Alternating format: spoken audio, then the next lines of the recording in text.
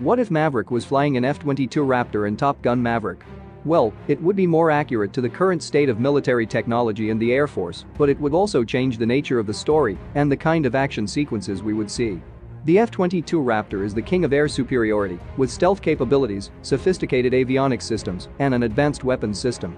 While the original Top Gun film was set in the 1980s, Top Gun Maverick is set in the present day, so the inclusion of the F-22 would make the film more realistic in terms of military technology.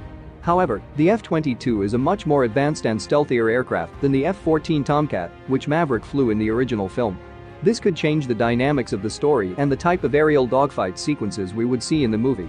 The F-22 is designed to evade radar detection, so it is possible that the dogfight scenes in the film would be less reliant on traditional head-to-head -head dogfight maneuvers and more focused on using the aircraft's advanced capabilities to outmaneuver and outsmart the enemy.